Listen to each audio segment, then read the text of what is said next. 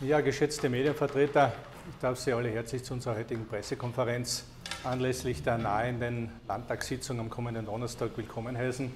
Wir haben natürlich uns als Freiheitlicher Landtagsclub wieder einige Schwerpunktthemen gegeben, die wir als dringliche Initiativen auch am Donnerstag behandelt haben wollen und diese auch behandeln werden. Auch klare Positionen seitens der Regierungsparteien in der Kärntner Landesregierung und im Kärntner Landtag hier von uns eingefordert werden. Und die Klammer über all diesen Themen sind unsere Bürger, um die es im Wesentlichen geht, äh, die auch entsprechend in diesen Phasen der Teuerung unterstützt gehören. Und wir Freiheitliche haben hier seit Monaten bereits unzählige Initiativen auch im Kärntner Landtag eingebracht, die aber leider immer wieder eine Ablehnung seitens SP und ÖVP erfahren haben. Äh, ich hoffe, dass irgendwann einmal auch den Herrschaften der anderen Parteien, insbesondere jene, die in der Landesregierung sind, das Licht aufgeht, dass es in Regierungsverantwortung darum geht, den Bürgern zu helfen, ihnen zur Seite zu stehen und bestmöglich gemeinsam durch diese Krise zu tauchen.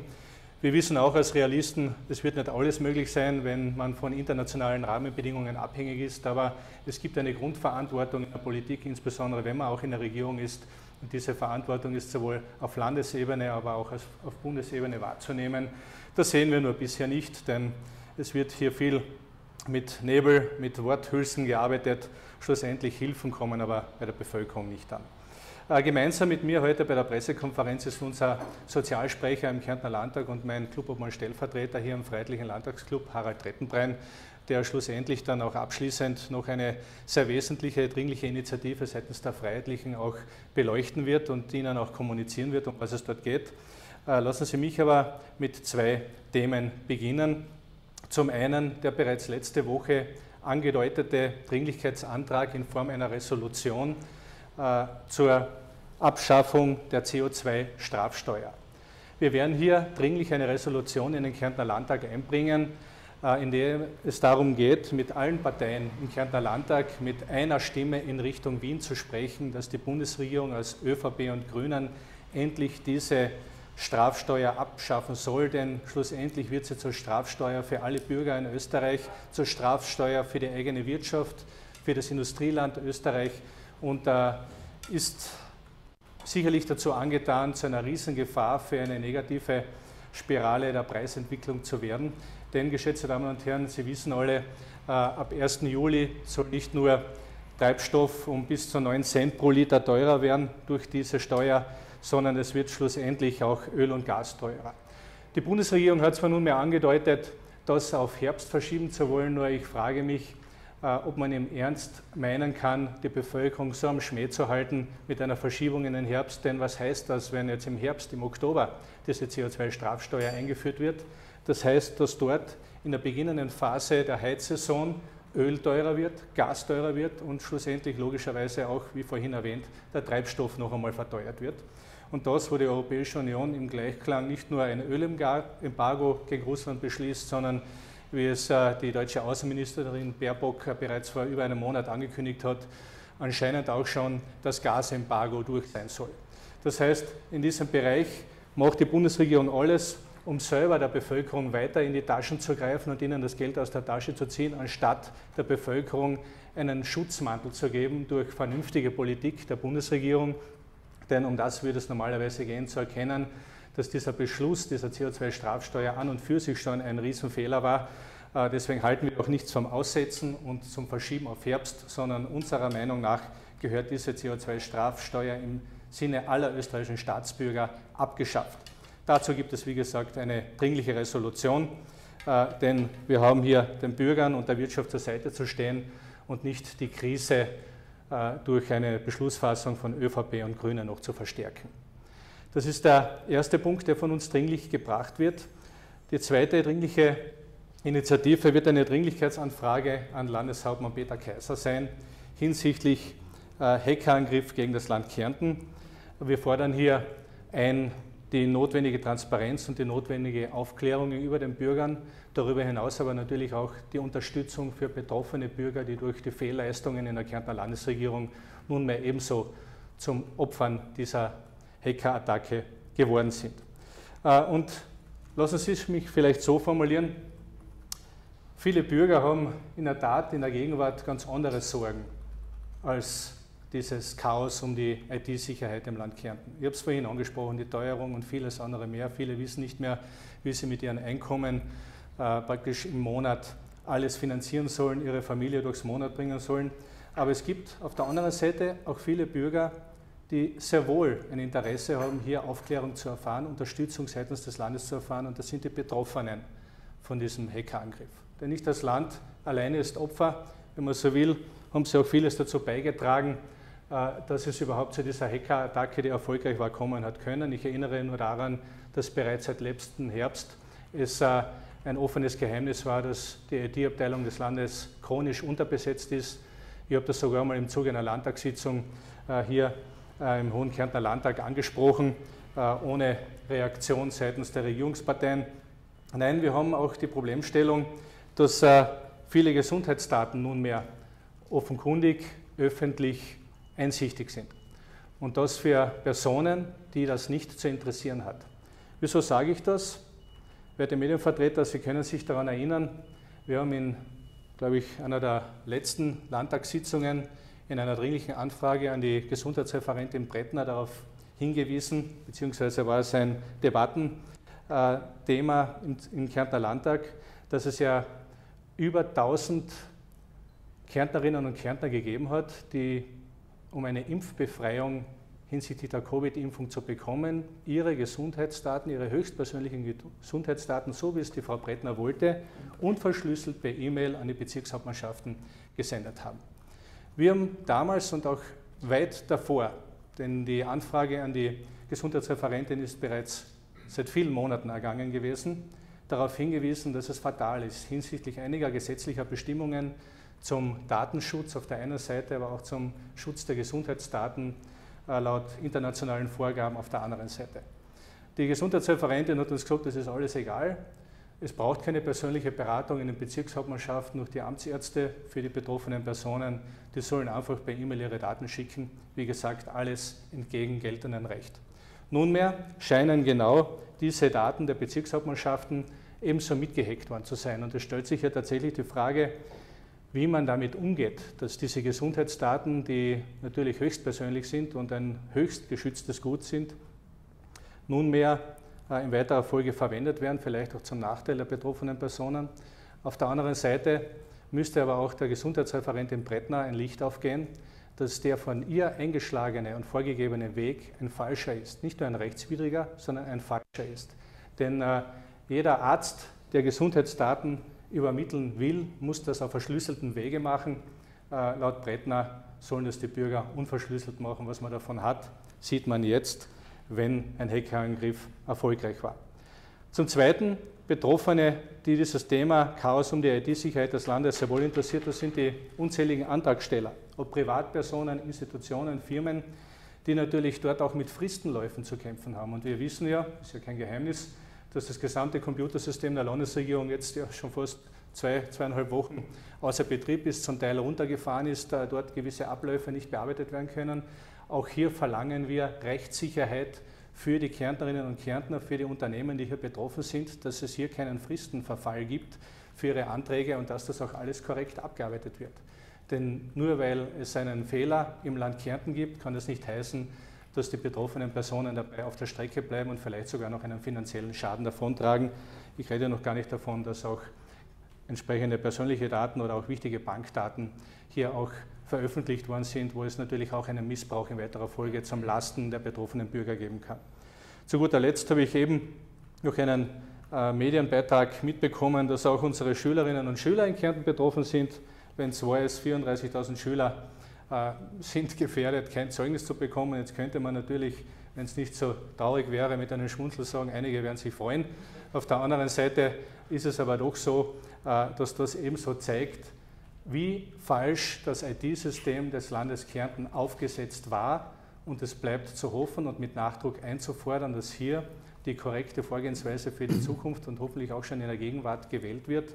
Denn ein Gesamtcomputersystem ohne interne Abteilungen, Sicherheitsabteilungen in der IT-Sicherheit äh, stehen zu lassen, um damit mit der Ansteckung eines Computers das Gesamtsystem zu gefährden, das ist nicht Stand der Sicherheitstechnik in Unternehmen oder auch in öffentlichen Gebietskörperschaften.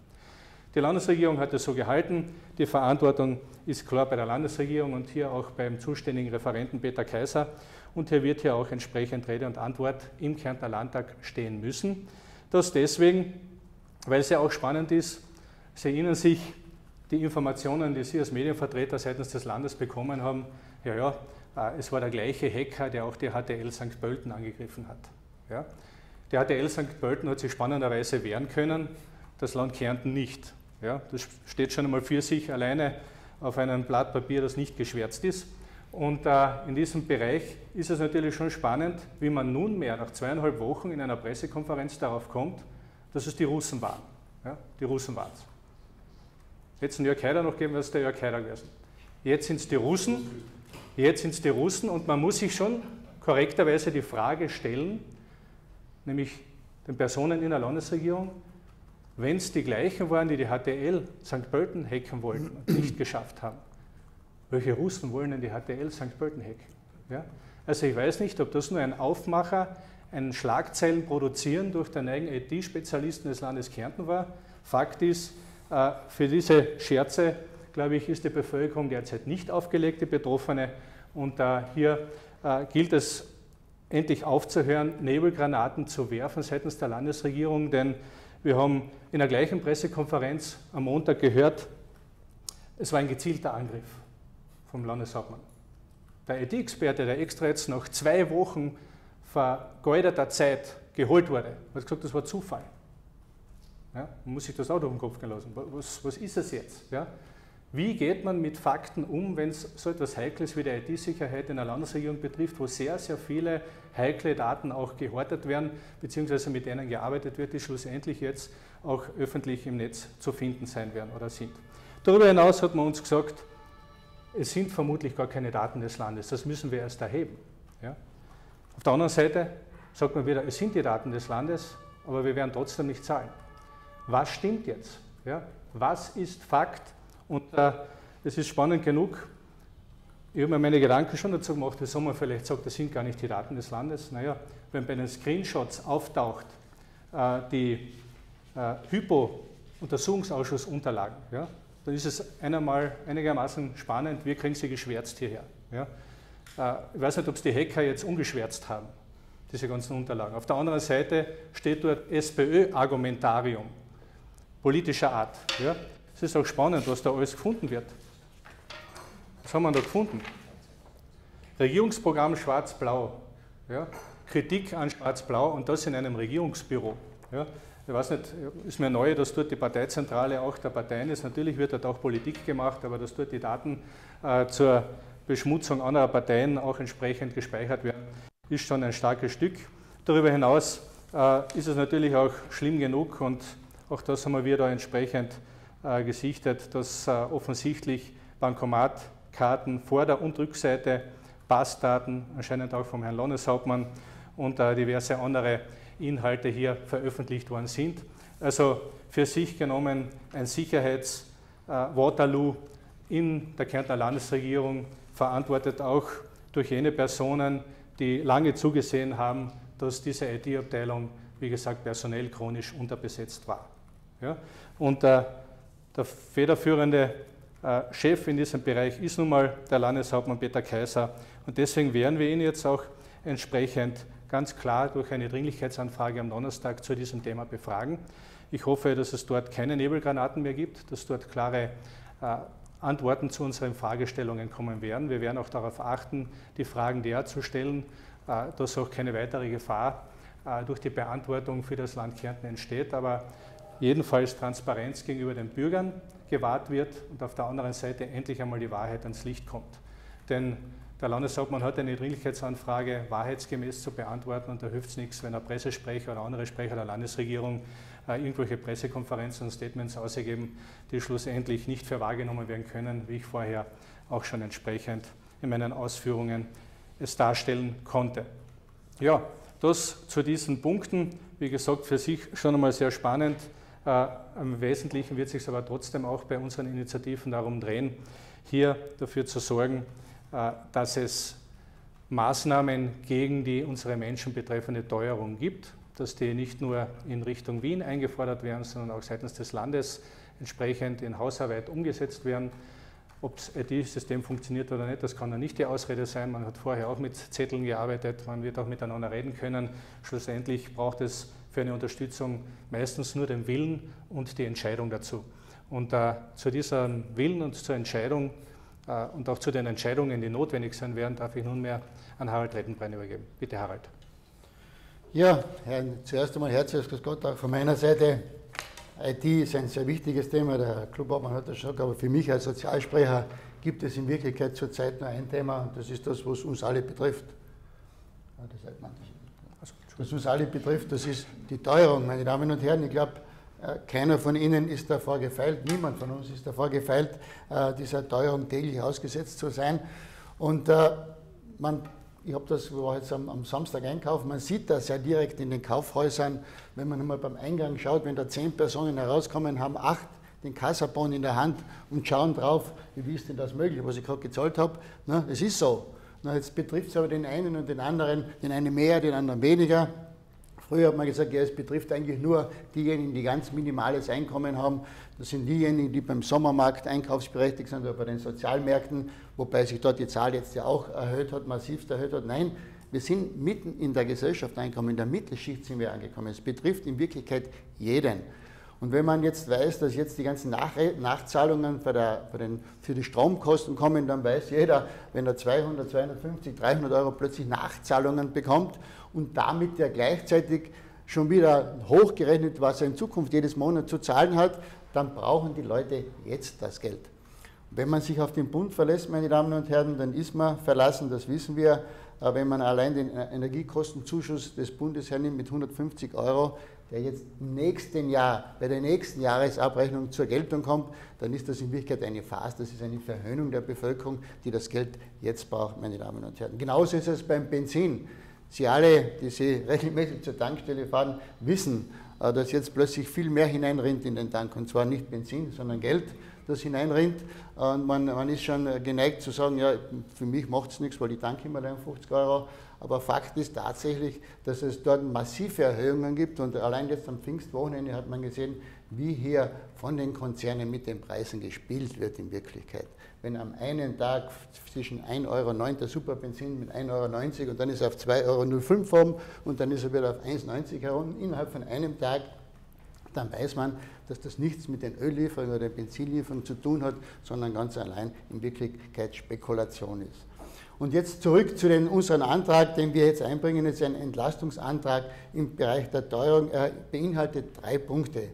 Der erste Punkt ist ein eigener Energiekostenzuschuss des Landes Kärntens für die Kärntner Bevölkerung, äh, zumindest in einem Ausmaß so hoch, wie es auch äh, der Heizkostenzuschuss ist. Das sind zurzeit 210 Euro und das soll sofort ausbezahlt werden. Nicht so wie bei der, beim Bund erst im nächsten Jahr, sondern sofort. Die Daten hat man. Jeder, der Heizkostenzuschussbezieher ist, dessen Daten liegen auf, der ist geprüft worden, den könnte man es unbürokratisch einfach zusenden, meine Damen und Herren.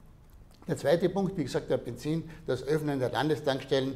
Ich glaube, eine Forderung, die wir schon seit Jahren erheben, weil wir gewusst haben, dass es einfach notwendig ist, ganz besonders für die Pendler, die zum Beispiel von mir aus dem Lavandal nach Klagenfurt pendeln, wenn sie herum zum Beispiel der Landestankstelle tanken können und sich das, was jetzt an Preiserhöhungen gekommen ist, zumindest wieder zurückholen können. Und der dritte Punkt ist ein Punkt, der für mich ganz besonders wichtig ist, das ist der Bereich der mobilen Pflege.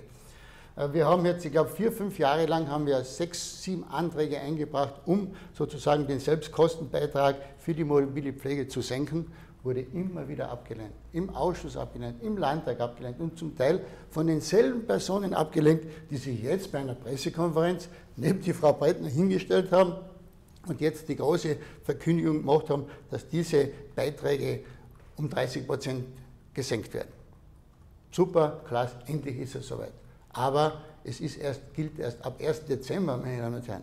Ab 1. Dezember, also wenn das kein wahltaktisches Manöver ist, was denn sonst? Die Teuerung ist jetzt da, gerade in der Pflege. Brauchen die Menschen diese, dieses Geld wie ein Stückchen Brot? Da können wir nicht sagen, das machen wir erst mit 1. Dezember. Und es gibt auch keine Ausrede dafür. Denn, Entschuldigung, wenn man hergeht und schaut, die Daten sind alle vorhanden. Man braucht hier nichts neu erfinden. Die Daten, wer mobile Pflege in Anspruch nimmt, sind hier. Die Frau Breitner könnte das mit 1. Juli einführen. Sie tut es nicht. Sie macht es nicht, also so gesagt, von sozialer Kälte zu sprechen, ist hier mehr als angebracht. Denn auf der anderen Seite immer zu sagen, wir wollen genau denen helfen, die es am dringendsten brauchen, die Leute, die zu Hause gepflegt werden und mobile Dienste in Anspruch nehmen, das sind in Kärnten immerhin 29.000 Personen. Wir haben 35.000 Personen in Kärnten, die Pflegegeldbezieher sind. 6.000 davon werden sehr teuer, aber auch sehr gut äh, in Pflegeheimen betreut aber 29.000 Personen werden zu Hause gepflegt. Das heißt, hier treffe ich genau die richtigen Personen mit dieser Senkung und das ist unserer Meinung nach sofort umzusetzen. Daher auch diese Forderung in unserem Dringlichkeitsantrag, dass wir hier das vorziehen und zwar zumindest auf den 1. Juli, dass man das sofort in, in Angriff nimmt. Genauso eben wie diesen Heizkostenzuschuss vom Land Kärnten. Zu finanzieren ist das Ganze auch relativ einfach. Sie alle wissen, es kommt immer die Frage, womit wollen wir das bezahlen? Die erhöhten Dividenden der Kellag, über das haben wir schon mehrmals gesprochen, dass zwar uns immer in Abrede gestellt worden ist äh, im Landtag, dass das gar nicht geht. Inzwischen geht es ja, wie wir gehört haben von Herrn Landeshauptmann und von der Frau Finanzreferentin, aber natürlich auch die 100, über 100 Millionen, die wir aus dem Erlös der Hypo kommen, sollen für soziale Zwecke genau für diese Dinge verwendet werden. Und äh, wie gesagt, ich habe schon am Anfang gesagt, auf die Bundesregierung kann man sich in diesem Bereich nicht verlassen. Denn was hört man denn von der Bundesregierung, außer dass es eine Teuerungshysterie ist oder dass man nicht jeden Tag, das muss nicht jeden Tag ein Schnitzelherden sein und so dann, das hört man aus der Bundesregierung.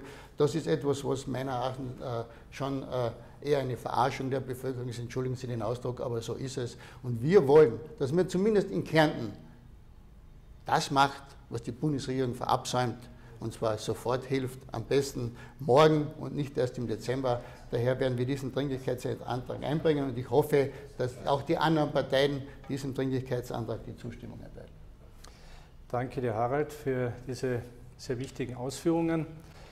Das sind unsere Initiativen, äh, die wir schwerpunktmäßig in der Kärntner Landtagssitzung setzen werden. Wie es rechtlich auch vorgegeben ist, da wird morgen in der Früh äh, der Herr Landeshauptmann entsprechend unsere Dringlichkeitsanfrage übermittelt bekommen, damit er sich auch äh, zeitgerecht auf die Beantwortung hoffentlich auch im Sinne der Bevölkerung vorbereiten wird können. Und äh, wir haben die Anträge gerade in Erarbeitung, das heißt, wir werden sie Ihnen auch erst zukommen lassen, wird der Medienvertreter, damit Sie auch dann inhaltlich äh, die Ausführungen textlich äh, sehen können, was es im Detail heißt, diese Forderungen von unserer Seite zu erheben. Nunmehr stehen wir natürlich gerne für Anfragen oder Nachfragen zur Verfügung. Was die EDV-Abteilung betrifft, äh, habe ich die Überlegung, äh, gute EDV-Leute werden wir wachsen und dann. Und wenn jemand ein guter EDV-Mensch ist, dann geht er nicht zum Land, sondern wohin, wo er mehr verdient. Ihr euch das vorgestellt, dass man die EDV-Abteilung des Landes mehr besetzt, so wie gefordert? Oder mit mehr Personal bestückt? Naja, eins ist einmal klar, die Analyse ist richtig. Ja? Das heißt, äh, gute IT- äh,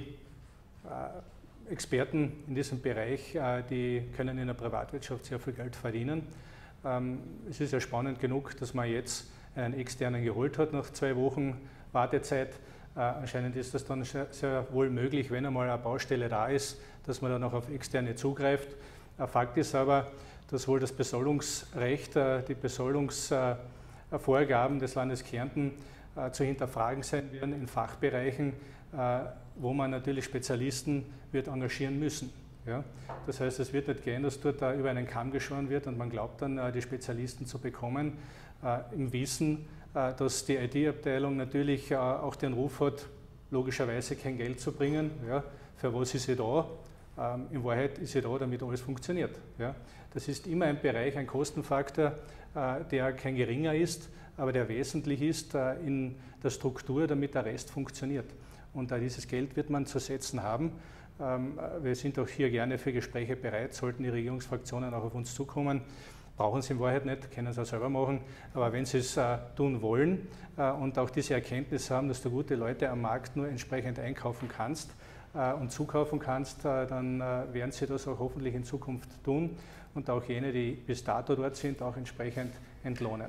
Fakt ist aber, wie gesagt, und da komme ich wieder zum Anfang zurück, äh, es war chronisch unterbesetzt. Wir haben im letzten Jahr äh, im Herbst eine entsprechende Reform auch im, im Bereich äh, der, des Gehaltsschemas des Landes Kärnten gehabt. Äh, dort ist schon einiges verbessert worden, auch was die Einstiegsgehälter betrifft, auch wenn es danach eine Abflachung gibt. Aber im Spezialbereich, wo du natürlich Spezialisten brauchst, äh, wird das Land Kärnten wohl in einen Wettbewerb treten müssen, auch mit der Privatwirtschaft. Und in den Wettbewerb kannst du nur treten, wenn du noch entsprechend entlohnst. Also das heißt Sonderverträge für IT-Spezialisten? In dem Bereich wirst du, wenn du es nicht gesetzlich regelst, mit Sonderverträgen vermutlich arbeiten müssen. Ja. Ich hätte eine Frage, die jetzt nicht so gesagt passt. Heute wird entschieden über den feierlichen Bundespräsidentenkandidaten. Äh, ist die Kärntner FPÖ da eingebunden? Und wenn ja, wenn, wenn jetzt nicht? Unsere Vertreter werden anwesend sein bei der Diskussion und uh, bei der Willensbildung rund um uh, unseren Kandidaten. Ähm, das heißt, wir sind hier eingebunden. Entschuldigung, was ist das für Gremium? Der, Bund das, das, das diese Entscheidung der Bundesparteivorstand wird beraten. Ja. Und die Kandidatin, die da durch die Medien geistert, würde Ihren Wünschen entsprechen? Es würden mehrere Namen meinen Wünschen entsprechen, weil ich die Persönlichkeiten kenne äh, und äh, sowohl Kollegin Fürst als auch andere, die wirst du ja angesprochen haben vermutlich, ja, ja, äh, sind Koryphäen in ihrem Bereich.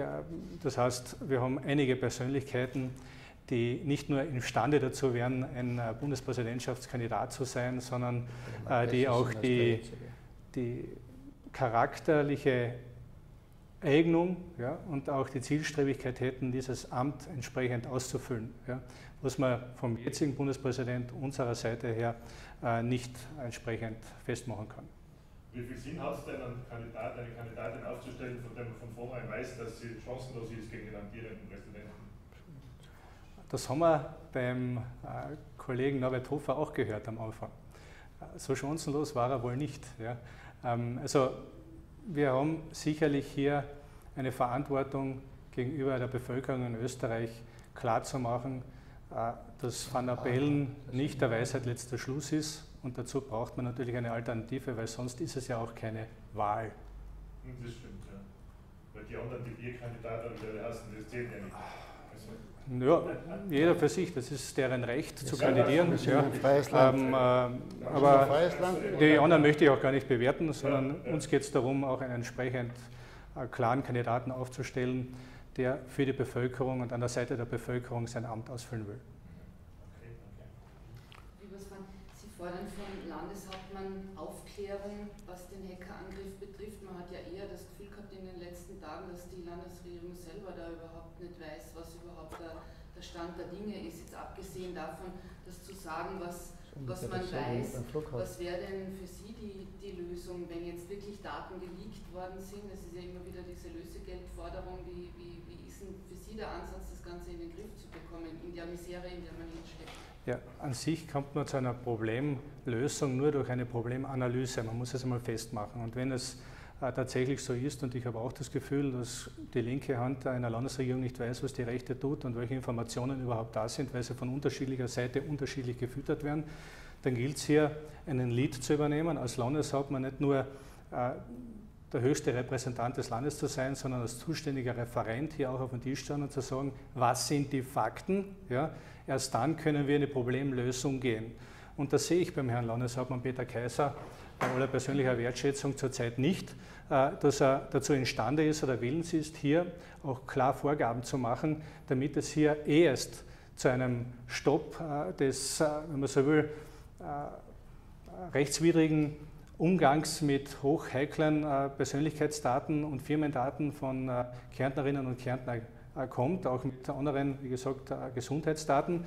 Auf der einen Seite, auf der anderen Seite gilt es aber, und ich hoffe, die Entscheidungen sind schon getroffen worden, endlich unser IT-System im Land Kärnten derart aufzustellen, damit nicht alles, wenn man so will, im gleichen Topf hineingeworfen ist. Jeder einzelne Computeranschluss im gleichen Sicherheitstopf drinnen ist, sondern äh, laut äh, den uns äh, zur Verfügung stehenden Sicherheitsexperten in diesem Bereich, und da haben wir uns jetzt mit einigen auseinandergesetzt, ist es Stand der Technik beispielsweise, um das nochmal zu sagen, jede Abteilung in der Landesregierung für sich als Sicherheitsareal äh, aufzubauen. Damit sollte ein Teil infiziert werden oder durch irgendeinen Hackerangriff betroffen sein, äh, manipuliert werden, die anderen noch immer einen Schutz haben. Und Kärnten ist anscheinend, wenn es war, ja so aufgestellt, dass alles in einem zusammengewurstet wurde. Und wenn einer betroffen ist, ist die Wahrscheinlichkeit, muss nicht sein, aber die Wahrscheinlichkeit umso höher, dass natürlich die, das Ansteckungsgeschehen bei den Computern quer durch das ganze Landessystem und durch die Landesstruktur geht, mit allen Auswüchsen, die es haben kann. Und dazu werden wir, wie gesagt, einige sehr, glaube ich, gewichtige Fragen auch an den Herrn Landeshauptmann stellen, äh, die ich zum jetzigen Zeitpunkt hier jetzt noch nicht erörtern kann. Äh, wir werden das jetzt äh, heute noch genau ausformulieren, aber es sind einige Punkte dabei, die hochheikel auch für das Land Kärnten und für unsere Bürger sind. Ähm, und da wird es zumindest eine Antwort geben müssen, ist das betroffen, ja oder nein.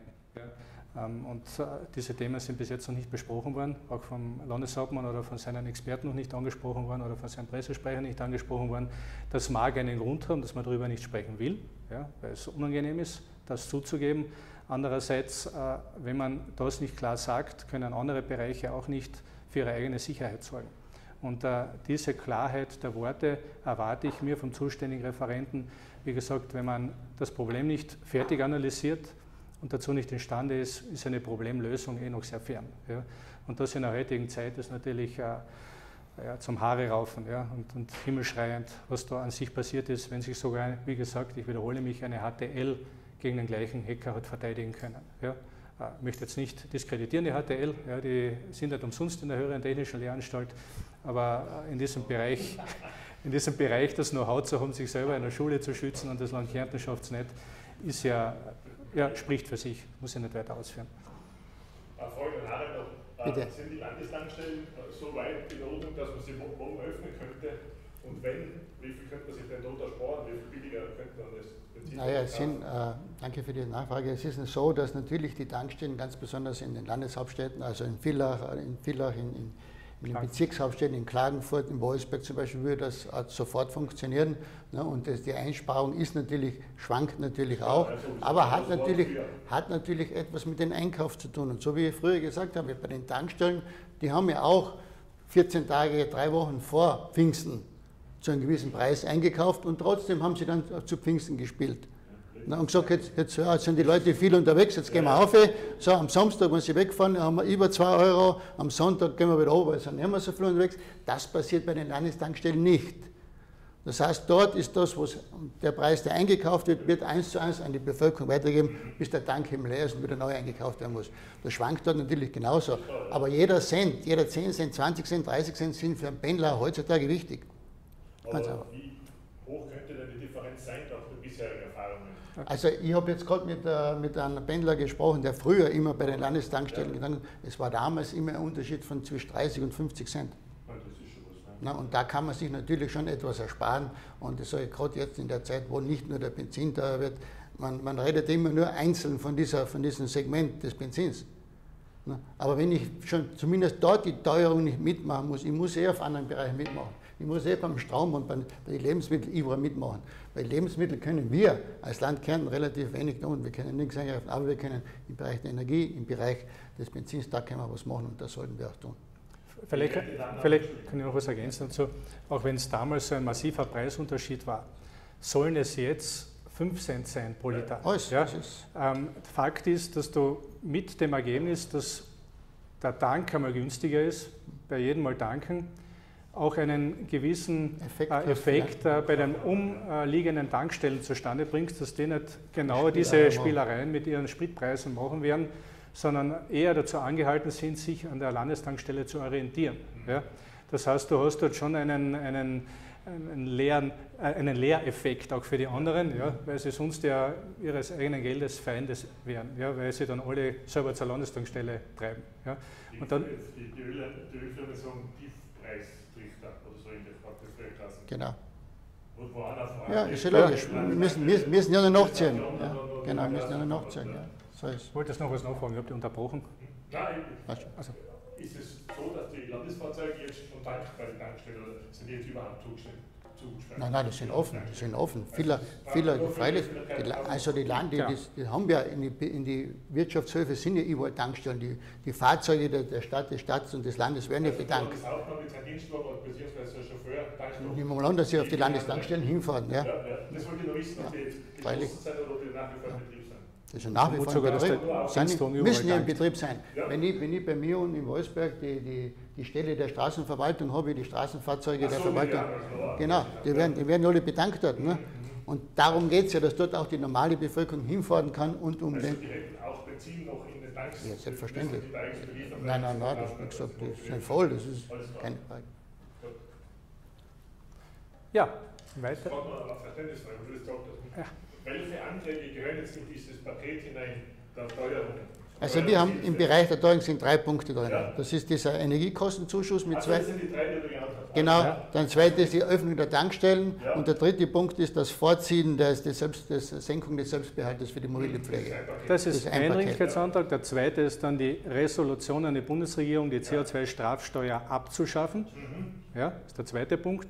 Und der, der uns möglich ist, wir können da zwei Dringlichkeitsanträge einbringen. Ja. Und dann haben wir noch eine Dringlichkeitsanfrage, die wir einbringen dürfen. Und das ist die an den Landeshauptmann wegen dem Heckangriff. Das war der- der- Bei CO2 ist ja die ÖVP will mit Abschlussbeantragung, aber die will immer Verschiebung auf Oktober. Die hochschoben. ja, was, für sich, was für sich spannend genug ist, weil die ÖVP jetzt angekündigt hat, das in einer Landtagssitzung zu beantragen, was die Bundesregierung bereits zugesagt hat. Ja, Das hat sie bereits Ja, einmal lustig. vor einem Monat gemacht Ja. äh, oder vor zwei Monaten mit dem GTI-Treffen. Da ist davor im Nationalrat in der Vorwoche jeder Beschluss gefasst worden dazu und in der Woche darauf haben sie da einen Showantrag eingebracht. Ja, mag, mag sein, mag sein. Ich denke, wir haben einen Teil dazu. Ja. Ähm, äh, wir haben uns die Zeit auch nicht gestohlen. Ja. Das heißt, auch in dem Bereich sollte man vernünftige Sachen miteinander debattieren und auch beschließen. Äh, wir haben damals auch gesagt, wenn man den Showantrag, den, den könnt ihr in einem eigenen Club irgendwo verkaufen. Ja. Aber lasst bitte der Öffentlichkeit damit den Frieden, das jetzt im Nachhinein noch einmal zu verkaufen, was davor schon beschlossen worden ist. Ja. Äh, Und jetzt, dass die genau jene ÖVP, die gegen alle unsere Warnungen, genau, dass das passieren wird mit höherer Spritpreis, höherer äh, Gaspreis, Ölpreis, ja, die Wirtschaft leidet, die Industrie leidet, wir ein Problem mit der Arbeitslosigkeit dazu bekommen können, wenn dort nicht mehr entsprechend produziert werden kann, weil einfach die Kosten explodieren. Äh, Trotz dieser Warnungen hat die ÖVP, genau jene, die jetzt verschieben will, das beschlossen. Ja? Und jetzt verschiebt sie es zu einem Zeitpunkt hin, wo die Auswirkungen ja nicht geringer werden, sondern dann äh, gerade in der Heizperiode dann noch massiver werden. Das heißt, man fragt sich echt, wo der Hausverstand geblieben ist bei dieser ÖVP. Ja? Eine ÖVP ist ja nicht mehr zu finden. Er wird, er wird doch beim Biller sein. Werbung ohne Mikro. Ja, ja. Äh, gut, wenn es keine weiteren Fragen gibt, danke fürs Interesse. Wünsche noch eine erfolgreiche Arbeitswoche. Alles Gute. Dankeschön. Dankeschön.